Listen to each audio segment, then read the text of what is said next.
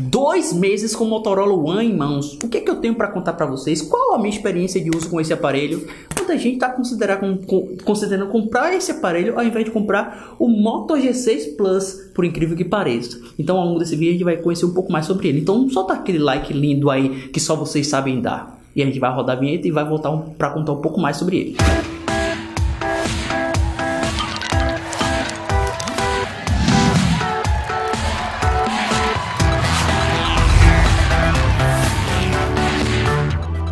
E aí galera, tudo beleza? O Anderson Conceição aqui do canal Meu Smartphone. Estou aqui com Motorola One. Foi lançado por R$ 1.499. Eu estava no evento de lançamento da Motorola lá em São Paulo. Pois é, foi no dia 3 de outubro, se eu não me engano. Então, estou utilizando esse aparelho de, lá para cá, né? Dois meses em mãos, aproximadamente. E eu tenho algumas coisas para contar sobre esse aparelho, né? Princípio é o design bem diferenciado, porque a Motorola estava seguindo uma tendência de design, né? Sempre aquele bueiro, né? Aquela tampa de bueiro atrás dos smartphones, né? Aquele módulo de câmera meio soltado para fora. E dessa vez ela colocou esse, esse módulo aqui na vertical, né? Com sensores individuais. No Motorola One Power, ela já colocou um módulo juntinho, bem semelhante ao iPhone X. Esse aqui ficou um pouquinho diferente, né? Mas na frontal ficou um pouquinho semelhante por causa do note aqui na no display e as bordas reduzidas. De forma geral, é um design muito interessante porque ele tem vidro com metal. Na lateral é um metal que simula o vidro. Então, de forma geral, é um design muito interessante. O mais legal é que ele já vem com essa capinha de silicone para você guardar o aparelho, porque é muito ruim no lançamento de um smartphone aqui no Brasil, você esperar até que os, o, a galera do camelódromo comece a vender a capinha para você poder comprar. Então, é legal que a Motorola né, e outras fabricantes já estão tá colocando a capinha de proteção dentro da, do pacote de compra, o que é muito legal.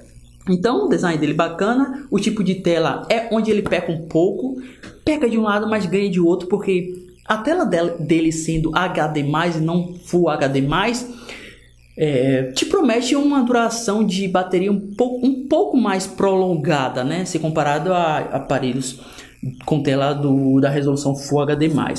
É, a proporção é legal porque tem as bordas reduzidas, o tipo de tela IPS comum como qualquer outro smartphone da Motorola intermediário, como o Moto G6 Plus, por exemplo, que tem o mesmo tipo de tela, né? IPS. De forma geral, você vai, não vai notar nada assim de diferença se você colocar um de um lado, um aparelho que tem resolução Full HD e ele do, do outro lado.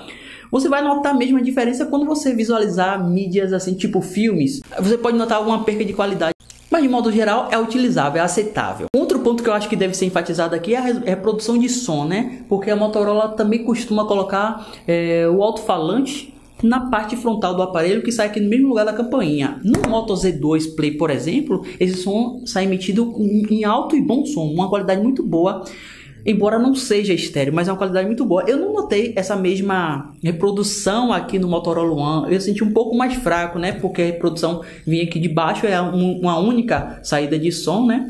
Então pecou também nessa questão aí. Pecado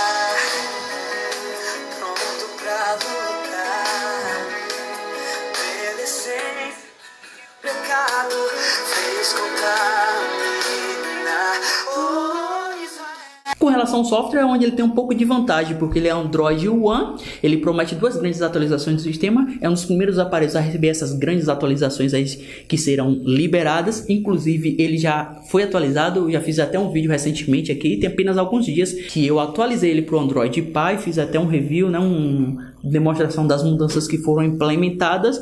Eu gostei muito disso porque ele foi o primeiro smartphone da Motorola a receber essa grande atualização. E ele tem um Android purinho, né? Muito semelhante ao que é incorporado nos aparelhos da Motorola, o, da linha G, da linha Z.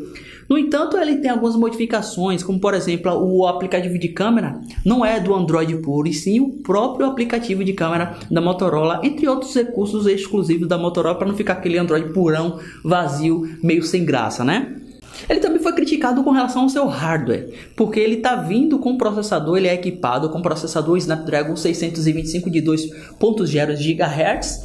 No entanto, pessoal, é bom lembrar que ele tem 4 GB de memória RAM, isso compensa muito a questão de utilização de aplicativos, transição entre aplicativos.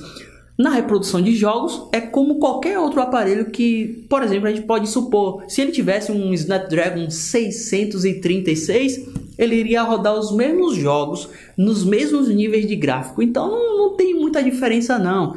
Com o tempo, né, mais de um ano depois, é que você pode notar que o aparelho fica um pouquinho mais lerdo, mas com 4 GB de memória RAM, eu duvido muito que isso aconteça. Então, esses 4 GB de memória RAM ajuda, ajuda muito no quesito desempenho. Você vai conseguir rodar qualquer jogo, aplicativo disponível na loja de aplicativo. O bom é que ele já está rodando Android Pie, então ele tem suporte para vários aplicativos que já está disponível aí na loja de aplicativo. Então, quanto a isso, eu não tenho muita crítica não. Eu só acho que ele deveria custar um pouco menos, né? No lançamento sempre o aparelho custa um pouquinho mais, depois de alguns meses o preço baixa muito. Eu acredito que dentro de seis meses esse aparelho vai chegar a custar R$ 1.100. Como foi com o Moto X4? Lembra? Lembra? Vocês estão lembrados? Não! Pois é.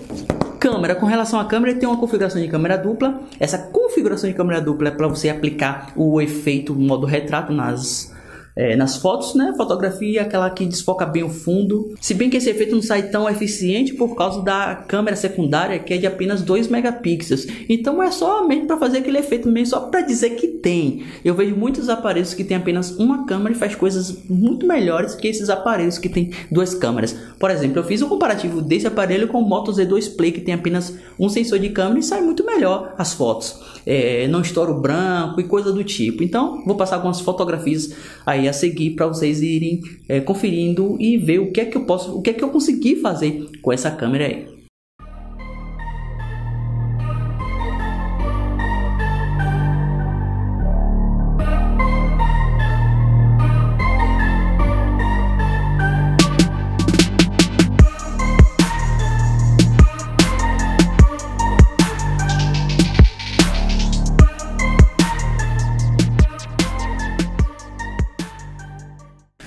Bateria, outra coisa que foi criticada muito no aparelho, né? Logo no lançamento, a galera começa a criticar. Pô, a galera critica tudo, né, mano? Você pode fazer o melhor trabalho do mundo que sempre vai ter alguém criticando, né? Mas isso é uma consequência da humanidade. Então, ele tem uma bateria de 3000 mAh. Como eu falei, ele tem uma tela com resolução HD+, não Full HD+.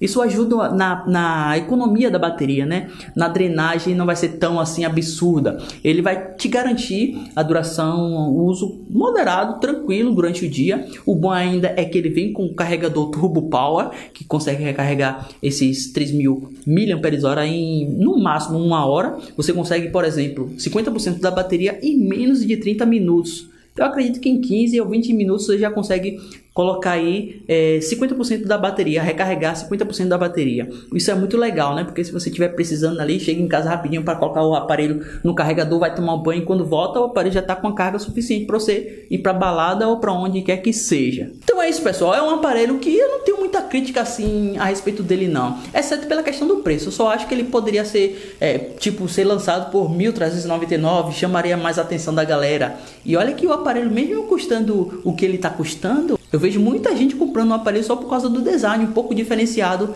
é, se comparado aos outros aparelhos que a Motorola já lançou aí ao longo dos últimos meses. Então fica aí a minha dica, minha experiência com relação ao Motorola One. Eu vou ficando por aqui. Um grande abraço e até a próxima. Não esqueça do like. Eu vou ficando por aqui. Um abraço de novo. Tchau.